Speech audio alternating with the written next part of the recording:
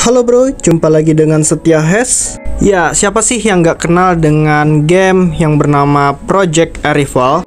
Game survival modern dengan musuh aliennya. Yang belum tahu gamenya seperti apa, ya silahkan cek aja tulisan yang akan muncul di sebelah kanan atas. Oke, baru-baru ini aku dapat kabar bahwa game Project Arrival ini bakal dapat tes kedua yaitu dimulai pada tanggal 12 Januari sampai tanggal 14 Januari. Ya, lumayan pendek banget ya. Dan kalian sudah bisa download game ini di Play Store dengan menggunakan VPN region Kanada. Semoga aja di CBT kedua ini gamenya udah optimal ya dan bugnya itu udah diminimalisir. Oke, kayaknya gitu dulu informasi kali ini.